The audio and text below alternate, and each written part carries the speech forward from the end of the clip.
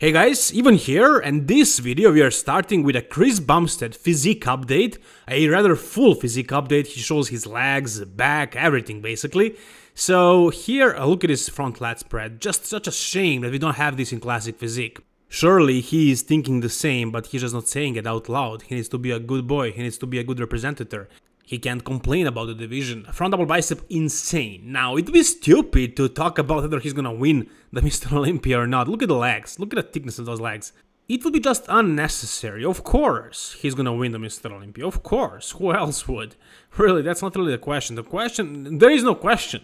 The point here is just looking at this and admiring it.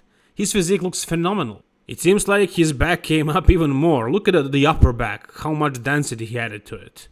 So basically, he's he's eight weeks out, and he looks shredded for eight weeks out. I mean, this is great conditioning. So it seems like this is gonna be. It has a potential to be his best shape ever. I don't think he was ever this lean at eight weeks out, and he's eating a lot of food, so there is a lot of room to play with. And uh, eventually, I'm sure he's gonna be shredded, like peeled to the bone. And also, it seems like he grew. So how much muscle can he actually add? Chris is in a great position. He weighs a lot, and that means he can diet down without worrying about the fullness. If he was doing the bodybuilding, he would have to be more conscientious about not losing a lot of size and roundness, the fullness. But in classic physique, he, he's right there. He's perfect with his weight. He can just, you know, not worry about a thing and just get shredded and look amazing and destroy everybody else. The legs, the legs look great as usual. He didn't even shave them yet, which is surprising to me, but overall, great body fat percent for 8 weeks out. It seems like he gained some muscle, and we're gonna see that as the show approaches, because he's one of those guys who are pushing the things hardest as they are approaching the show. He's not using a lot of gear in the off season. And as you can see, as he's getting leaner, he's looking bigger and fuller and rounder. Look at his front double bicep, just ridiculous. Such an amazing physique. And yes, the winner of 2021 Mr. Olympia Classic Physique, no doubt. No matter which bodybuilder we're talking about, to say they're gonna win a show without a doubt, it's always a bold statement. What about Roelly Winklaar? Is he going to qualify for the Mr. Olympia by winning Spain or whichever show without a doubt? No, no, no. I mean, he looks amazing. He looks absolutely phenomenal right here. I mean, look at this. He does look big. Probably not as big as he once was, but he doesn't look small. And he looks conditioned and he looks full. I mean, look at the vascularity through the shoulders, through the arms, through the chest, all the chest striations and feathers and, and all kinds of things. Everything, he just looks ridiculous, his entire body. But it's not the Roelly we once knew, and I think that's what's hurting him. I think the judges expected to see him bigger, and he's one of the freaks. So that's I think that's why. I think it's about the impression the judges get that uh, placed him lower at Tampa. I think he was still good, just wasn't his old self. Now he decided to actually skip on Tampa. He's not doing Texas. Next destination, as he says, is Spain. Unless he pulls out of that one too and focuses on Arnold, I don't think he's gonna do it. He, he's saying here that he's gonna do it, so I don't think he would be doing this if he wasn't sure, but maybe it would make sense for him to just skip all the shows and just do the Arnold because that will give him more time to grow and he has the shape, he has the conditioning. If he manages to maintain this conditioning and just come a little bit bigger, fuller, I don't know how, I mean, just carving up more or just kind of growing into the show in some way, muscle memory is an impressive thing. You saw it too many times, like with Kevin Levrone. So if Kevin was able, why Roelly wouldn't? I think he didn't have enough time to, to train because of the gyms being closed, and that's why he lost a lot of size. I don't think it's his age, I think it's just that. So now, when he has enough time to grow and to do everything, and his body right now is in a prime state of utilizing the food maximally because he was dieting and now the body just wants to use everything you give it. And i'm sure him and his coach notice and they are utilizing every moment of these couple of weeks between the shows. Every bite of food i'm sure is getting where it needs to get and I'm expecting Roelly to be a little bit better at Spain than he was at Chicago. Can he win Spain? It's gonna be a challenge for sure. Is there a potential? It's always potential. I mean, it's Roelly Winklaar, guys. We'll see what's gonna happen. It's gonna be very interesting to see him on stage once again, for sure. Is this guy right here, this monster right here, Steve Kuclo, the reason why Roelly decided not to do Texas? Because if that's the case, I think it's a smart decision. It seems like nobody is beating Steve Kuclo at Texas Pro. I think he decided very firmly that that's the show he's gonna qualify to the Mr. Olympia with. All these recent photos are looking just phenomenal. He's getting in probably his best shape ever. I don't know, we're gonna see that on stage, but it seems like this is gonna be the best Steve Kuclo we ever saw. So he looks bigger than before, he looks more conditioned. This size, wow, wow. And you guys know that he's taller. Taller bodybuilder. He's like in 280s on the stage. The only, well, I wouldn't say problem, but the only thing that I don't like about his physique, and I'm sure many of you guys uh, feel the same way, and I'm sure you heard me talk about this before, is the deep separation, the, or the lack of it, especially in his legs and basically everywhere else. He gets peeled, he gets conditioned, he can, he gets vascular, his skin gets so thin, but uh, it's just genetically. I mean, he doesn't have deep cuts, deep separation.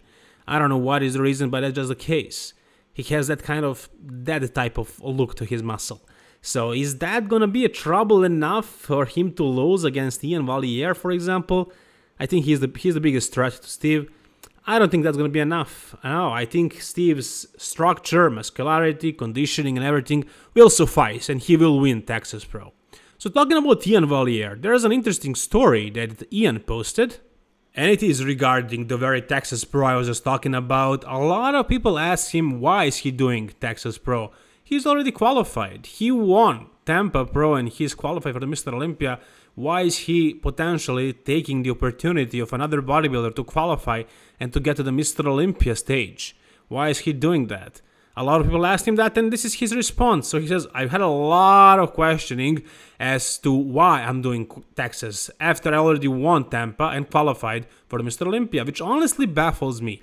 I am a professional bodybuilder. My job is literally to compete, win, collect prize money, and work my way up the bodybuilding ranks by beating more and different top competitors. Would you think it's weird for a pro golfer to compete in multiple G- uh, PGA tour events to win purse money and multiple titles to add to their resume. My job is not to let others qualify for the Mr. Olympia and let prize money and titles be won by, by others. It's to enter competitions and try my best to win.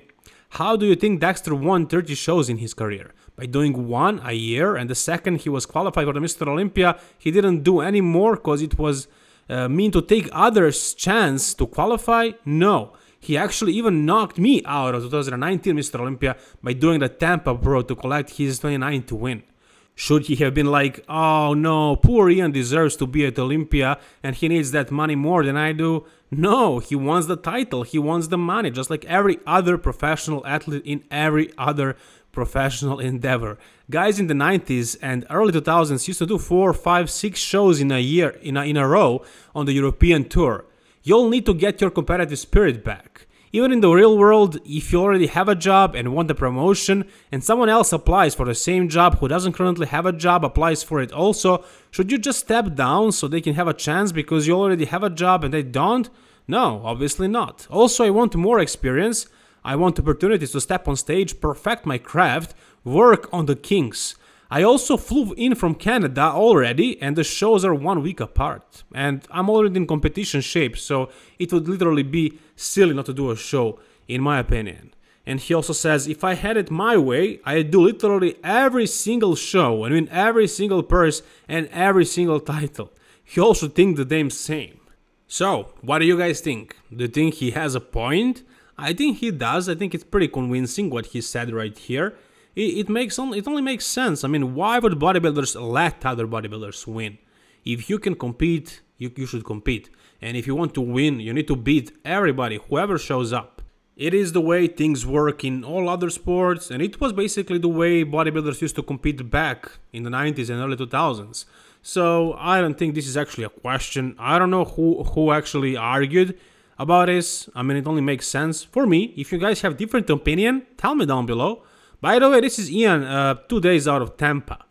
So he was conditioned. A lot of people are saying that he was off. I mean, maybe he was not as sharp as he was at the Mr. Olympia, but off? Come on. this is not off. He is not fat or anything like that. I mean, look at the veins on his adductors. That means he's pretty lean. So he was shredded basically for a guy of his size, as much as he can be, as much as as many details as he can have. He had them.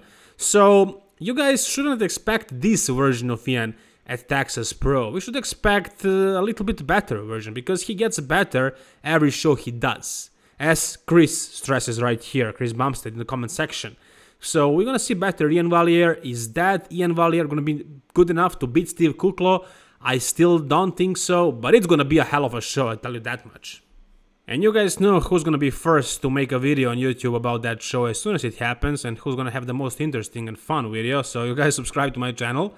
For the end of this video, we have Jon De La Rosa in his off-season. He says, off-season update, is this really off-season? I don't know. To me, he looks three weeks out. so is this a joke? Is he prepping uh, secretly and he doesn't want to tell anybody? Do the shadow kind of approach? And he just wanted to show this photo and just you know confuse us by, by saying it's an off-season photo. I don't know. I think he's competing. He looks like he's prepping for something. What is he prepping for? Spain maybe? Maybe even texas? Could he do texas in four days? Maybe he could do i mean maybe he could do well. He looks shredded. I don't know. If this is really an off-season why would this be an off-season? Look at his lower belly like there's only like one layer of skin and that's it. He's dry, he's shredded. Look at the chest striations and the vascularity and the striations in the shoulders. I don't think this is off season. I think he's prepping. I think he's uh, just messing with us. He's keeping it a secret. The only thing that looks like off season here is his beard and his hair. So I think that's the only thing. His body is yelling show prep. But whatever you guys think, tell me down below in the comment section. Like this video if you enjoyed it and for more bodybuilding videos like this, subscribe to my channel guys. All the best and bye bye.